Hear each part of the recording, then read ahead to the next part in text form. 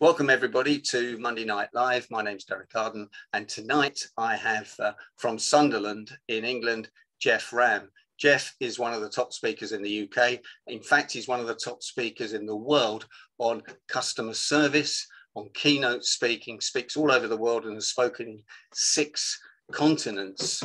Um, and I saw Geoff in Dallas uh, bring the house down at the National Speaking Association conference uh, two and a half years ago. I was privileged to be there. Let me tell you just a little bit about Geoff. Geoff and I spoke on Zoom three weeks ago to the uh, Chartered Institute of Management Accounting Conference. I got to close the uh, first day and Geoff got to close the second day. The person that closes the second day gets paid a lot more money than the guy that that uh, closes the first day. So I'm still pretty sore about that, but Geoff's a good pal of mine. We've worked together on the in the Professional Speaking Association for uh, five years, and he's a great guy. Geoff uh, got into customer services because he was working in cars, and I've been wondering what somebody who was working in cars in Sunderland uh, on customer service uh, is doing really, traveling the world and speaking and writing books. And we'll find out about that in a minute. If you follow Geoff on Instagram, you will see that he sent out all sorts of Christmas cards. I've got one here and to the ladies, they get a big pack of dairy milk uh, chocolate because the uh, lady loves milk tray. So you can tell us a bit about that as well, geoff because looking after people who look after you is one of the secrets of Christmas. So if you're there, geoff welcome to Monday Night Live. Thanks for joining us for a second or even third time. And uh, tell us how you got into the speaking business. Ah, Derek. Uh, well, welcome everybody. Good to see you all again. I think this is my third appearance is this my third appearance? Do I get to keep you now, Derek, after three? You get a it's a hat trick, Geoff, which is not what Sunderland very often score in football.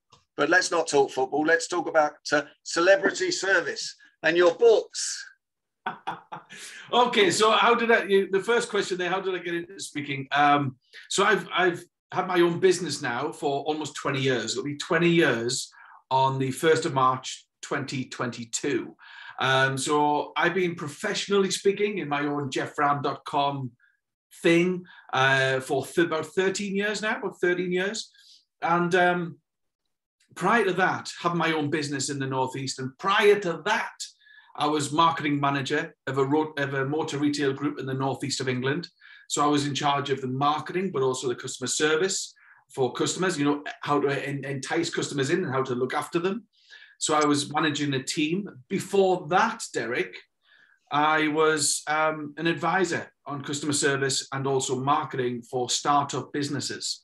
Um, one of the startup businesses that I worked with and helped to launch and helped to work with for, for quite a quite a long time uh, was somebody who a lot of you might know is uh, Sara Davies from Crafters Companion, who has just finished her stint on Strictly and who uh, is now a current Dragon on Dragon's Den. So I was working with businesses, small businesses back in the early day, and my enterprise lecturer, Derek, at Sunderland University, who we kept in contact with, he contacted me uh, randomly out of the blue, and he said, Geoff, we, we want I want to invite you to this event at the university."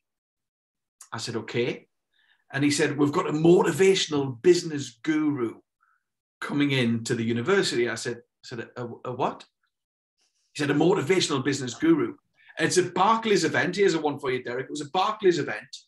And he says, I'm inviting everybody. I said, but, but I've left the university. I've left for two or three years now. He said, no, no, you're alumni. I'm inviting everybody to come back from your year. I thought, oh, what a business. Now, this is before Google.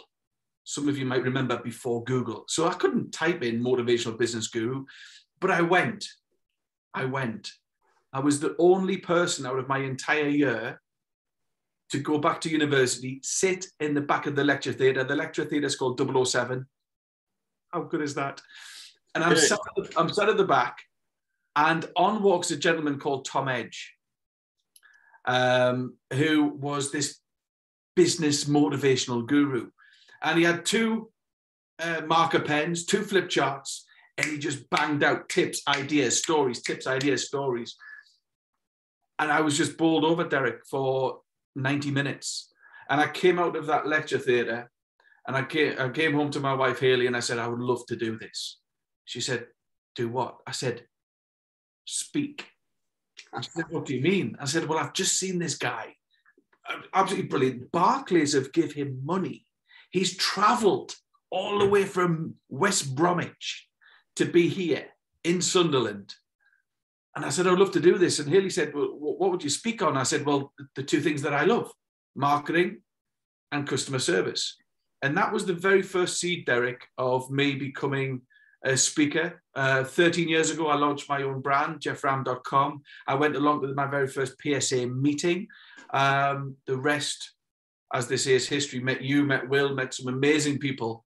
And um, if somebody told me all those years ago, having that dream of seeing that person and thinking, oh, I'd love to do this.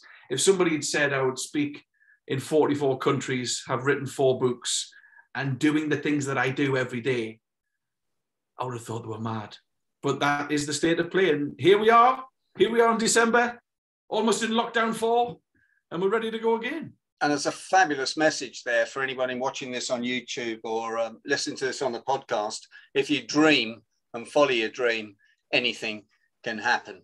And four books, Geoff, and I'm uh, just flicking through yet again your celebrity service superstars. And I think you're going to show us a few slides and a few fantastic bits of service that you've seen when you've traveled the world. Is yeah. now a good is now a good time to put the uh, put the slides up? Would you like the slides? I'll, I'll, here's the slides. Here we go. Here we go. Derek on 2021. Here we have it. Here we go. So for those of you who, are wondering, that is actually water, not gin. But if, if you want it to be gin, it can be gin or vodka. So enjoy the ice. So my topic, uh, my subject is customer service, customer experience. Um, but my topic is something called celebrity service. This is what I specialize in. This is my brand. This is what I do. And people say, well, what's the difference between celebrity service and and customer service, you know, the service that we know and we, we've been taught so many years.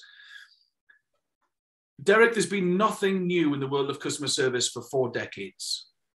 Just about every speaker, every trainer, every manual you flick through, every book you've ever read will tell you two things. Two things in order for your organization, your business, or yourself. Two things for you to do to become the number one in your field, the number one in your sector. And every book, manual, trainer, speaker will say the same two things. The first is this number one, you must always go the extra mile. Really inspiring stuff. Okay. Second thing is you must always exceed expectations. It's the same old, same old. Go the extra mile, exceed expectations.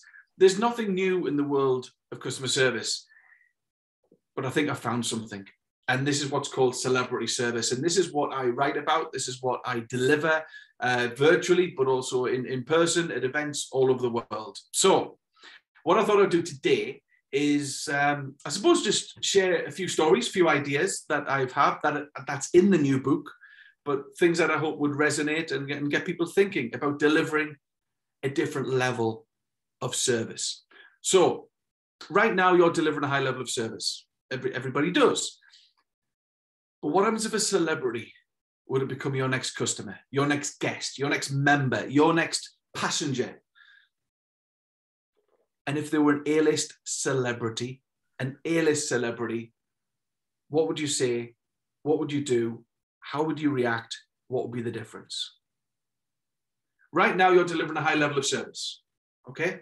But if a celebrity were to tweet, email, walk through your door, pick up the phone, become your next customer, your service levels go to there. And that, ladies and gentlemen, is the gap. The gap you don't realize exists within yourself, within your department, within your organization, but it's a gap that if you can fill, there is not a competitor in your marketplace can touch you for the service and experience you could deliver starting from today. So celebrity service. Celebrity is the philosophy, which we could talk a lot about later on, Derek, but celebrity, I broke it down. I have hundreds of stories and I broke it down so it was manageable and people could easily grasp it within a business. Celebrity stands for consistency, excitement, love, engagement, bravado, response, independence, thank you, and you and your team. And what I do is I group all my stories together, Derek, as, as you know, into these groups to deliver for clients. Now, I'll be honest with you. On occasions, I've used love. Okay, the L in celebrity is love. I've never used it so much as in the last 18 months. When I first started to write celebrity, when I started to write L, a couple of my very good friends, they said, What's L going to be, Geoff? I said, Sorry. They said, Is it going to be loyalty? You must call it loyalty. And I said, No. And they said, Why not? I said, Because it's too obvious. And said, What's it going to be? I said, I think I'm going to call it love. And they said, "Oh, right, we get it. You you love your customers, they love you, everybody's happy." I said, "No." I said, "Love is when something goes wrong. Things always go wrong. Okay? It's having that ability, that creativity, that that mindset to see an opportunity to put it right. Okay? To spin it on its head. And I said, you always find one or two people in any organization that love it when things go wrong. So what I thought I'd do today is, is dedicate the last 18 months and, and certainly some of the stories in the book to, to love. Um, and that's what I'm going to share with you today. But I thought I'd start because we had a good 10 minute conversation with everybody about the world of football. We had we heard about Arsenal and and Sunderland and all these wonderful teams. Um, but I have another love, Derek, another love, uh, football but a football Tim will possibly know a little bit more than anybody, and that's American football. So from about the age of, I don't know, eight years old, Channel 4 here in the UK first broadcast American football, the NFL. And myself and a couple of a couple of friends at school, we just fell in love with American football. And my my team that I chose back in the day were, were the Oakland Raiders, and then they moved to LA, and then they moved uh, to, to Las Vegas and we all picked our team. And I, I go to the games now in um, down in Twickenham or, or Tottenham the other week, and certainly down at Wembley. So I thought I'll start there. I'll start there. We'll have a conversation about football. But yes, Derek, I um I had to put this on. Let me let me see. There you go. Bit of bit of bit of normal football. Derek and I just the other week, uh, six pound twenty a pint. That's how you stay in the Premier League. But let me take you back to an event that Derek and I did in, in Dallas. Now, this in the background is the Dallas Cowboys Stadium. I believe at the time was the most expensive stadium ever built, I believe. Now, whenever I go to America and speak in America, I like to buy a souvenir because my, my I love I love American football, but I like to buy a souvenir. My office is full of souvenirs of places I've been to. So yes, been to Los Angeles, and uh, spoke in Philadelphia. And every city I go to, I get the, the helmet wow. from that city. So I thought, we're in Dallas. I've got to go get myself a helmet, but I also want to do the stadium tour, the stadium tour. And not only from a football perspective and some a passion that I have, but I'm also interested in the business learnings wherever I go and picking up nuggets, picking up ideas, and people's different mindsets to sales, negotiation, leadership, customer service. So here we are at the um, the AT&T Stadium in Dallas, and phenomenal, phenomenal. It makes Wembley look like a shed. Okay. If I ever speak for Wembley, I, I won't mention that. So we went on the tour and I'm the only Brit there, and I'm sat with all of Americans. We're all on this tour, and uh, it was just phenomenal. We were all asking questions. This is their jumbo screen.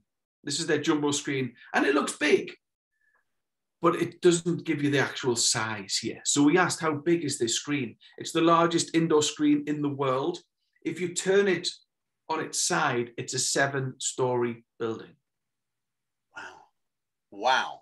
That's the size of your TV, Derek, at home, I believe. Just, just That's absolutely right, Geoff. The remote control, the remote control is the size of your house. I thought, wow, that is impressive. So, they, they, but it's stunning, absolutely. It's like it's incredible, right? I was like, wow. So we're sat watching this screen, and it's pixel perfect. It's like, oh my word. And they said, so we're asking questions. Any questions? Any? And somebody said, what's the what's the uh, capacity And the lady who was very informative, she said, "Oh, we have eighty thousand here, but we can we can go up to ninety thousand. what you just you just just get 10,000 seats from somewhere. She says, if you look under your seat right now, the seats are a little bit different. They're not, they're not, they're on bars, they're on iron rods. And she says, your armrests here, what we do when U2 or when Taylor Swift come to town and we, we can, we, we need to sell more tickets, we take the armrests off and we bunch the seats together and we can get an extra 10,000 seats. Now, Derek, the Emirates Stadium and the Stadium of Light are very, very wonderful stadium. We've never even thought of this. It was brilliant, absolutely brilliant.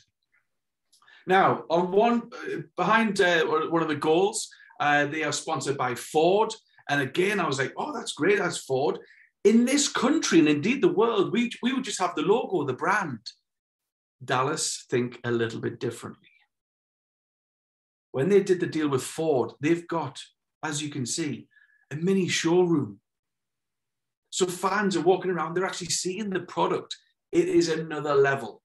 It is without doubt another level when it comes to sales and marketing and the way they think and the mindset. But what I wanted to really tell you was love. And when things go wrong, putting them right. So with 20 minutes to go, the um, the host of the uh, the tour, she said, right, we've got 20 minutes left before we close. If you want to come down to the uh, sort of the dressing rooms, you can. Or if you want to go to the store and buy some last minute gifts, you've got a choice. And of course, I want to buy a helmet. I want to buy a helmet. So I went off to the store. The store is something else. And I picked up the helmet and I picked up some things for Grace and Elliot for our children. And I've got a handful of stuff. And I'm in the queue for the till and I'm third in the queue. Then I'm second. Then I get to the front. And at that precise moment, there was a flicker of electricity. There's a little surge, a little, just the lights went on and off for a second. But it put out all of their systems. And the lady looked at me, she said, Oh, thank you very much, sir. Um, our systems have just gone down. We can't take card payment. However, we can still take cash. Guess who's the only person in Dallas without cash? And I was like, I haven't, I haven't got a dollar. I, I said, I just want to. And she said, "Oh, can come back tomorrow." I said, "I said, I said, I'm, I'm, I fly tomorrow. I can't make it." She said, "Not a problem. Would you like to go on a secret tour? I was like, okay. And she got another colleague, another member, of colleague from the store. Could you help this gentleman? Can we take him on the secret tour? So we went around the back, went into the storeroom. Nobody'd seen that before. Went into the back offices. Nobody'd seen that on the tour before. We went up the stairs, around the around the, the, the side, down the stairs, threw out into the foyer where the Ford, where the cars are again. I thought, I'm back in the stadium. We walked around, we walked further around, and about 100 meters down the, this path was a bank machine, was a card machine. There you go, sir. You can take out as much cash as you want. I was like, so I put the card in, got the cash. We did the secret tour all the way back. And when I got to the till, she said, because you've had the hassle of walking to get cash, I've took 20% off everything. No more problem, is there? There's no more problem. How many of us would have to fight to get a discount? It would never happen. At best, you would get 10%. The Dallas Cowboys, and particularly these teams, saw an opportunity. Would you like to go on a secret tour? Yes. It was just a different path to getting cash. But then the best bit, Derek, was just at the end, and we've took 20% off everything. I leave there happy. There wasn't an issue in the first place. So I wanted to start um, this, this, this brief talk today just with showing you what can happen and what we can do differently. So that was in a time when we could travel. And Derek and I would fly to Dallas and have some great fun and have a couple of drinks and um, collect stories. And um, I've never used love so much in the last 18 months. I mentioned this before. And um, things will always go wrong. But it never included a pandemic. That's just a little bit too big. However, did we see opportunities as organizations, as businesses, as people to deliver a greater level of service? The answer is yes. We have great, great examples. I, I know that. But there are three things that organizations and businesses purchased, three things in the last 18 months. Three big things. First, masks. Masks. We need to buy masks. So everybody had to buy as much PPE masks as they could just to go about their normal everyday uh, life. But then after a couple of months, whoa, oh, oh, we get a logo, we get a logo on our mask, and we turned into a bit of a branding exercise. Clever. So that was the first one, masks. The second, hand sanitizer. And millions upon millions of hand sanitizing stations went up in offices and retail, uh, train stations, you name it, hand sanitizer. That was another big purchase that we had to make. And the third one was signs. And you had every organization, right, picking up their phone and speaking to the printers who would normally do their signs. And the conversation went something like this. We need signs. we need, we need, we need signs. How many? Um, 300. Three, we need 300 signs. We need them. We need them for the bathroom. We need them for the back of the toilet door. We need them on the floor. We need them on the ceiling. We need them on the carpet. We need them on the walls and the windows. Can we get some ones for the windows? We need signs. We need signs. And what do those signs say? Two meters. Two meters. Must be two meters. Stay safe. social distance. Two meters. Stay two meters apart. And that's what we did. That's what we did when something like this happened, and we we we had to react very quickly. We had to go and get signs that is good service. You're providing a service to your teammates, your colleagues, but also your customers. But how many people truly sat down and thought, can we deliver a greater experience? We're getting these signs, but can we do something to deliver a greater experience? How many of us actually sat and thought about delivering a better service? So, anyhow, there are three types of signs. This is the first one, and many of you will have seen this. So you'll have the very famous uh, chemist business, uh, uh, retail business, Boots. You can imagine the conversation. We need signs. We'll have let's shop safe. Can we have two people that don't look like people, but put two people, two meters, and we'll get, can you get our logo in there? And can you also get the Boots blue? Right? And we'll have thousands and thousands of those. That's good. I get it. There is another level. This is good. Let me show you something great. For any music enthusiasts, this is the sign that I, the photograph that I took outside of the Hard Rock Cafe in Edinburgh when we could travel back in the back after lockdown one, uh, and it's in the shape of a guitar. Am I the only one excited about this? Is it just me? just right. Okay. Well, I thought it was good. Anyhow, that's great. What about this one? Can you see the difference? Can you see the difference? This is the Kate Spade retail store. It's just a sign. It's just a sticker. It's not. It's an opportunity to deliver a better experience. And for all of the negativity that we're surrounded by, we see this. What do we do? Smile. We laugh. We may take a photograph and we may share it around the world. Nobody ever takes a photograph of a normal sign. See this as another marketing opportunity. So we have good signs, we have great signs. There is also another level. It's called celebrity service. Now, a client of mine who I've worked with many times in uh, Bangkok, Frankfurt, uh, Glasgow, and London, uh, an organization called Fraser's. Fraser's Hospitality. You, you might have come across them. They also own Malmaison, Malmaison hotel chain. Okay, so wonderful organization. They're friends more than clients, if I'm honest with you. And I've worked with Heather a lot for the last few years, and we've done a lot of conferences together. And I always challenge everybody in, in my room in that conference to create moments that can be shared, those Instagrammable moments during that time of lockdown one, when we saw the the guitar and the you know the the, the hard rock cafe image, We stayed at Fraser's, but we also stayed at Malmaison. We had, we had a few days up in Edinburgh. We got to the Malmaison front door.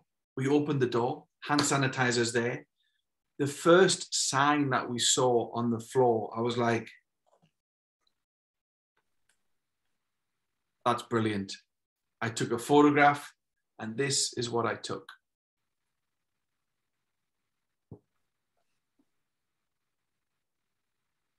It didn't stop there. This is outside of every lift. If we have any Spice Girls fans in, in, in the room right now, Derek, they will they will be singing that in their head. And also by the sinks in the toilets. It's just words. It's just words, but it's a different level of service. Did we stop and will we stop? And in future, will we actually look to stop to think about delivering a better experience? The likes of the Malmaison and Fraser certainly did. So I wanted to share that one with you um, for, for, for, today. But also the, the teams, the teams as well. And we've seen wonderful examples of, of people who have delivered way and above uh, way, way and above everybody else. And this is another client of mine that I want to share with you now. Now, quickly, put in the chat, put in the chat, uh, or, or, come off and, and, and shout, name the movie. Can you name the movie? Well, I can't, Geoff, but I'm not a great movie fan, so we'll see who the movie fans are. Do we have any chat? Can we get in the chat? Yeah, the chat box is open, so people can go in the chat straight away. Come on. The one with Tom Hanks. Who said that? Who said that? That's Janice from San Francisco. Janice, well, well done, Tom Hanks. So yes, this is the ball. Can you remember what the ball was called? No, sorry. Wilson. Wilson. Brilliant, brilliant. So this is the movie Castaway. Uh, this is uh, and this is Wilson. Wilson the ball. Now, for those of you who haven't seen it, you have to go and see the movie because otherwise this next three minutes will make no sense. So just it's a great movie. Hours. So this is Wilson from the movie Castaway. Uh, one of my clients, Village Hotels, uh, you, you'll, you'll be aware of this in the very first sort of, you know, when, when everything was, was starting last uh, March and April, just about every hotel were, were, closing down, closing down. The ones that were open were, were, were, for key workers, but everybody else was closing down. But there were only two people allowed, and there was only had to be one, two people in every hotel that had to close. First was maintenance, and you had to have a maintenance person in a hotel who were living in the hotel who every day turned on the taps turned on the shower and flushed the toilets in every room just to keep the system going. So there was the maintenance person. The other person was the general manager. So you've got tens and tens of staff leaving on furlough or, or leaving to work from home and there was two people left in that ginormous hotel by themselves. So tracy colley at Village in the Wirral in the northwest of England, she bought a load of balls and she put and she created Wilson handprints because her teammates were cast away by themselves. And she put these and she dotted them all around Village just to put a smile on their face. But she went a bit further. Before she had to leave, she went along every corridor and took out the photos and the pictures from every frame. And she did things like this.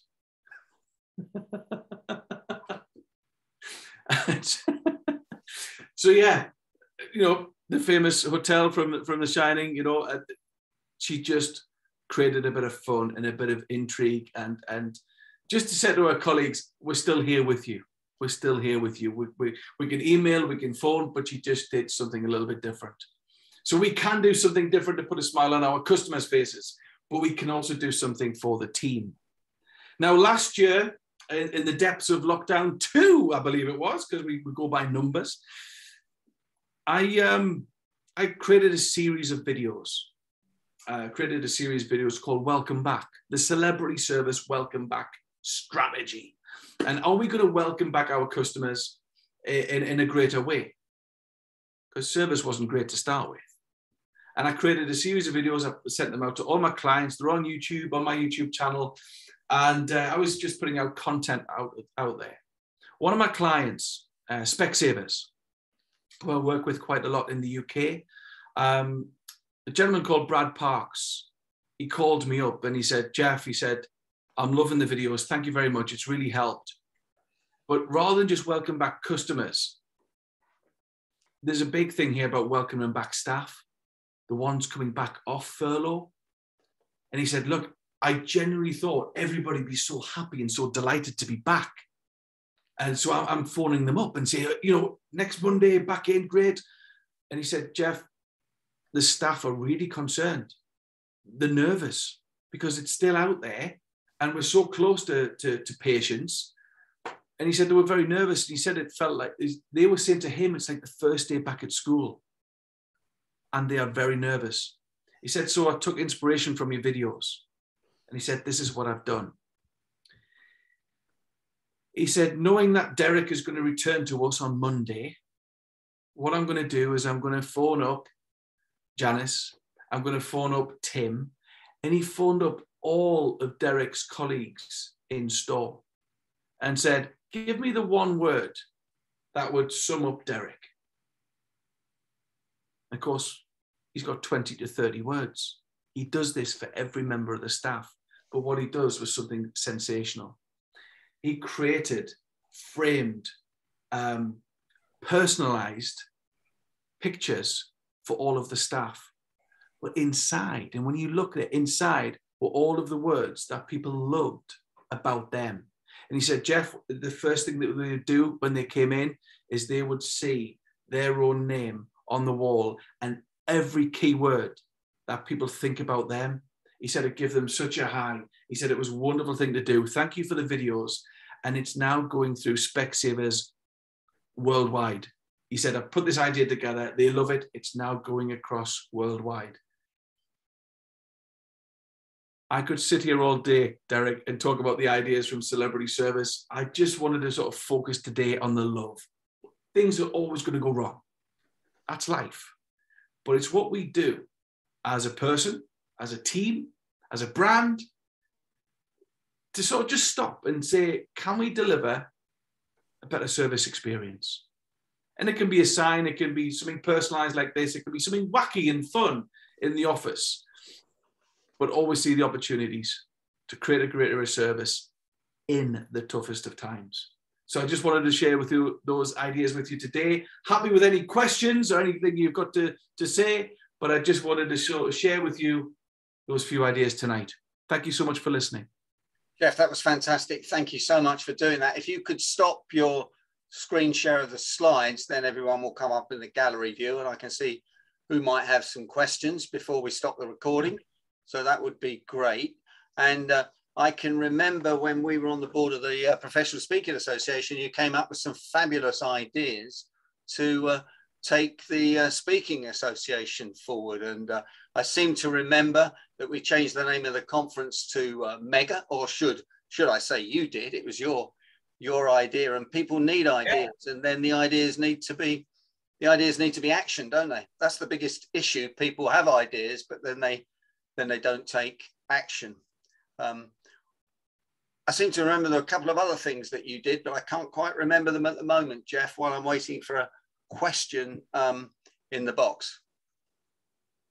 I think the big the big thing what we did back in the day, you and I, Derek, was you know, just it, just just communications.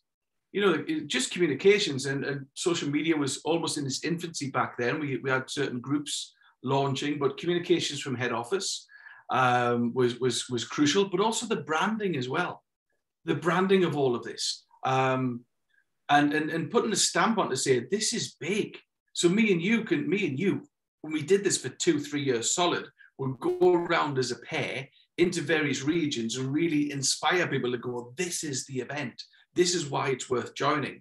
And we put incentives in there. We would, anybody who joins tonight, there's a copy of my book.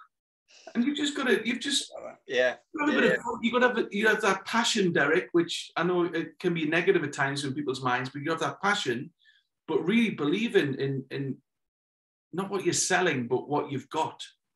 I think that was that was that was key for me and you. But to have a brand with it, to create some content around it, you and I were putting out videos. We got speakers to create videos, small vox pops of what people were going to get.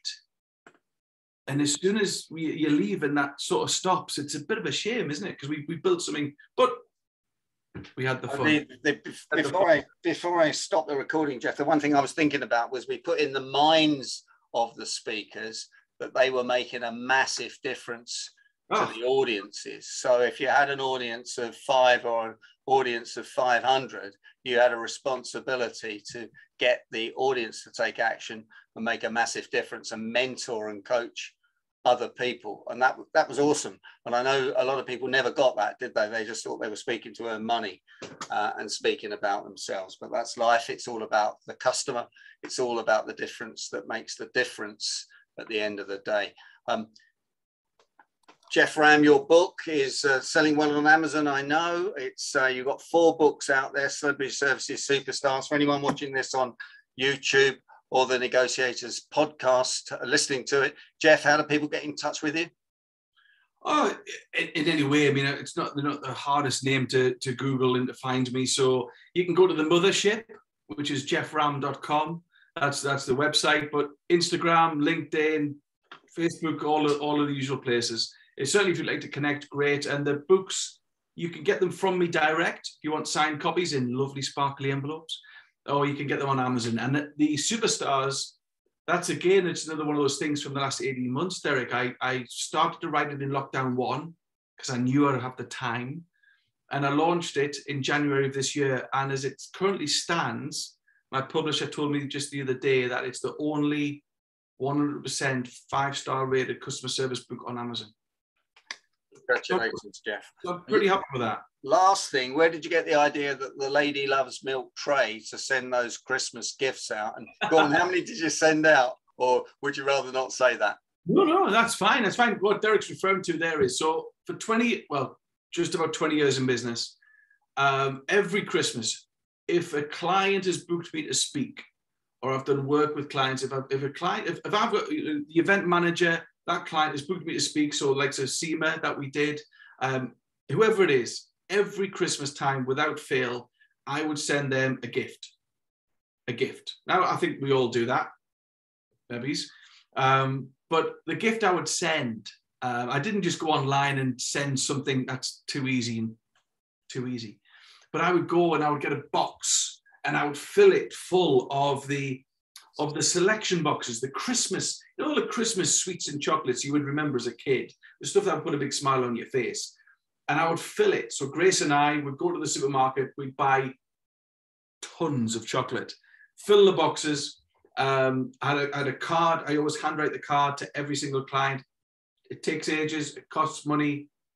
It doesn't matter. Um, and I send out. So I think this year I sent about 45, maybe it's about 45 boxes out.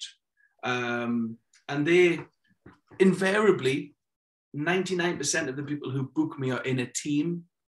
Now, gifts wise and presents wise, to say, and all I'm doing, Derek, is saying thank you for the business. Thank you for booking me this year. So clients who booked me last January, uh, this January, March, April, last week, they would get the gift because it's a box full of lots and lots of things, the whole team can share it.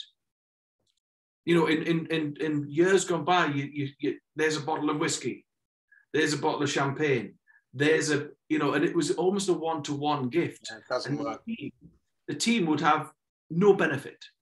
So there's reasons why I've done it. I've done it now for 20 years. I've done all sorts of things over the years. The chocolate boxes are a big one. Uh, and I just enjoy doing it. I think it's great, Geoff. And what reminded me of that was I saw um I saw one of them on Instagram yesterday getting lots and lots of likes. So you know, it's uh, you get the social media kickback as well because people can't resist putting it on. Geoff Ramm, thanks so much for joining us. Fantastic ideas that you've Thank given you. us that we should all be doing. We know we don't always do them, but um, you know, fantastic. Congratulations on the book. Congratulations on everything you do, and thanks for joining Monday Night Live yet again. I hope you'll join us in 2022. Thanks very much, Geoff Ramm. And can you give Geoff the usual round of applause virtually? Fantastic. Thank you, Geoff Ramm. Okay, I've um,